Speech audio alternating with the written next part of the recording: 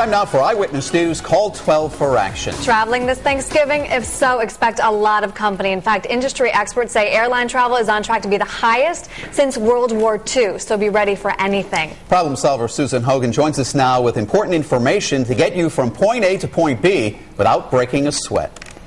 It's all about being early, prepared, and patient, and knowing which airport to fly out of.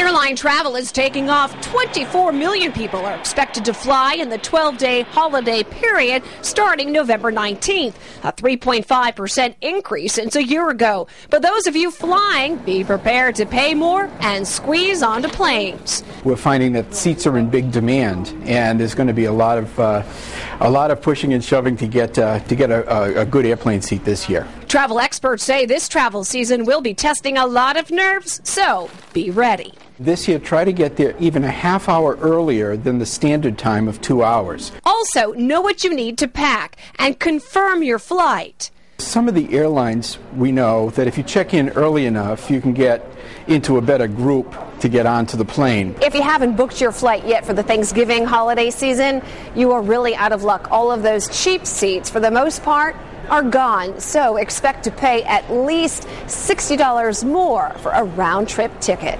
If you're planning to fly out of Logan, it will be the nation's third busiest airport during Thanksgiving week. Only O'Hare and LAX will be more packed. TF Green is expected to be the least busiest airport.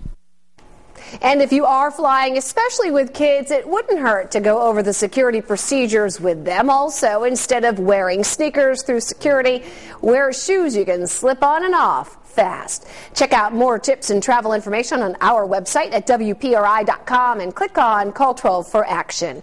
And if you have a consumer problem you need help solving, contact our Call 12 for Action Center Monday through Thursday from 11 until 1.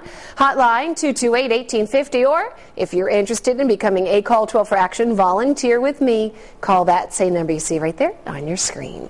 I'm problem solver Susan Hogan, Eyewitness News. More consumer